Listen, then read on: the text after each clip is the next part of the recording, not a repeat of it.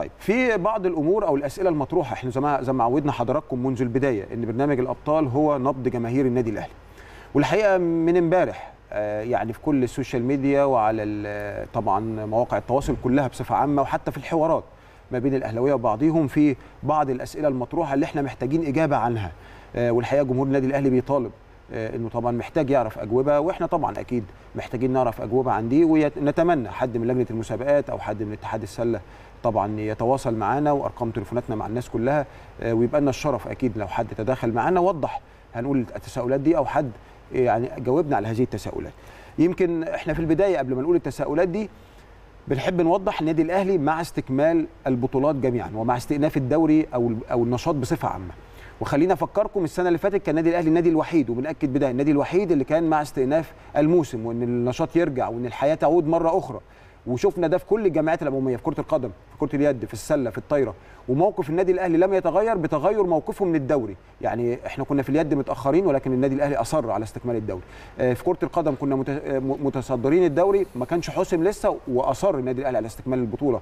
بالرغم إن هناك أندية كثيرة وأنتم تعلمونها جيدا حاولوا كذا مرة إنه يعطلوا طبعا آه، استعادة الموسم أو إرجاع الموسم مرة أخرى ولكن النادي الأهلي كان دائما ابدا مع المصالح العليا آه، للرياضة آه، المصرية. ده بس في البداية بنحب نوضحه إن النادي الأهلي دائما ابدا مع استكمال الموسم ولكن استكماله بالطرق اللي نصت عليها طبعا الأكواد اللي حطتها وزارة الشباب والرياضة. خلينا أقول على أول تساؤل يمكن جمهور النادي الأهلي يعني عايز يعرفه. هو ليه امبارح اتلعب ماتش سبورتنج والأهلي سيد مرتبط السيدات اللي هو تحت 16 سنة؟ وأيضا مباراة الأهلي والاتحاد تحت 16 سنة. آه، ولاد اتلعبوا مع عدم مع بعدم انتظار أو بالرغم من عدم ظهور مسحة كورونا. نتيجتها إيه؟ يعني إزاي الماتشات دي اتلعبت؟ وبدون ما المسحة تظهر. طب هو كان فايدة المسحة إيه؟ وليه اتلعبت الماتشات دي؟ وإحنا عرفنا الحقيقة إن هو طبعا الدكتور مجدي أبو فيخة مشكورا رئيس الاتحاد كان صرح امبارح طبعا آه، مع الكابتن أحمد شوبير ان في تحقيق هيدور في هذا الموضوع. نتمنى نعرف نتائج التحقيق ونعرف إيه اللي حصل ومين المسؤول إن ده يعني يحصل لأنه أكيد آه، كان في خطورة على اللاعبين واللاعبات. طيب عايزين برضو تساؤل من التساؤلات المطروحة بقوة يعني داخل وسط النادي الأهلي أو جمهور النادي الأهلي. ماذا فعل الاتحاد طبعا لتصحيح هذا الخطأ؟ أنتوا عارفين إن ده خطأ وكلنا اعترفنا وإحنا بنحيي ذلك. آه، الحقيقة من الاتحاد كرة السلة إنه اعترف إن ده خطأ وده حاجة طبعا شيء من الكبار الحقيقة اعتراف بهذا وده حاجة ابدا ما تقللش آه، من آه، يعني آه، قدرات ولا ولا احترامنا للمجموعة بالكامل. ولكن ماذا فعل الاتحاد لتصحيح هذا الخطأ؟ للاطمئنان على سلامة اللاعبين. سواء مرتبط اتحاد لأنه كان معاه زمايل يعني أنا زميلي معايا سبعة مصابين بكورونا أنا كنت قاعد معاهم على البنش. طب أنا دلوقتي عايز أطمن على نفسي ماذا فعل الاتحاد عشان يطمن على اللاعبين؟ ونفس الكلام بالنسبة للنادي الأهلي ونفس الكلام سبورتنج. والأهلي كان في إصابات أنا بتكلم على مرتبط. إيه الإجراء اللي هيتاخد عشان نطمن على سلامة آه، هؤلاء اللاعبين؟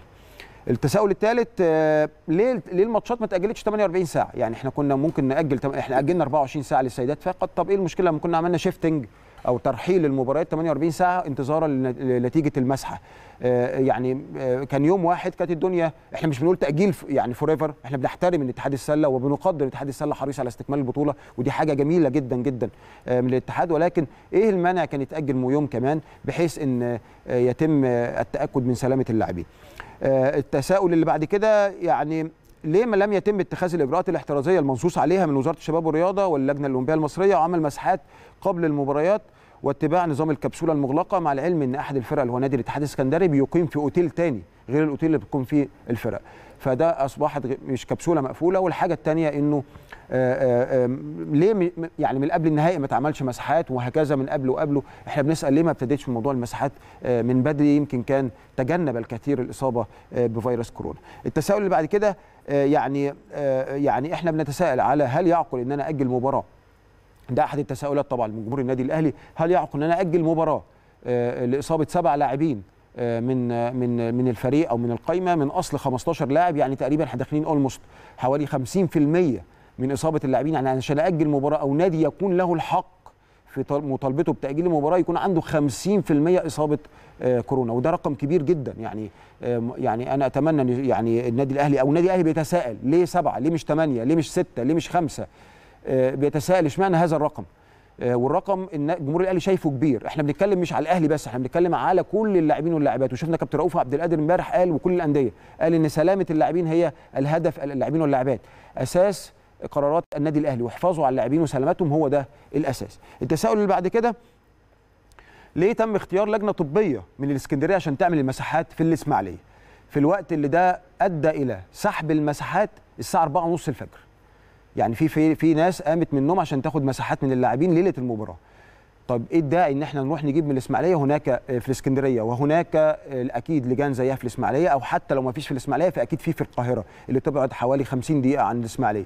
ليه تم الاستعانة بلجنة طبية من الإسكندرية؟ يعني حوالي أربع خمس ساعات آه، آه، سفر رايح وراجع اللجنة الطبية خدتهم حوالي قول 8 ساعات كانوا ممكن نكسبهم إن النتائج تطلع بدري 8 ساعات. ليه؟ تم اختيار. لو في تعاقد لاتحاد السلة مع هذه اللجنة كان ممكن يتم استثناء هذا التعاقد في, حي... في لأن إحنا ما عندناش وقت. يا إما تؤجل المباراه 48 ساعة زي ما إحنا قلنا لغاية ما النتائج تظهر. دي الحقيقة تساؤلات.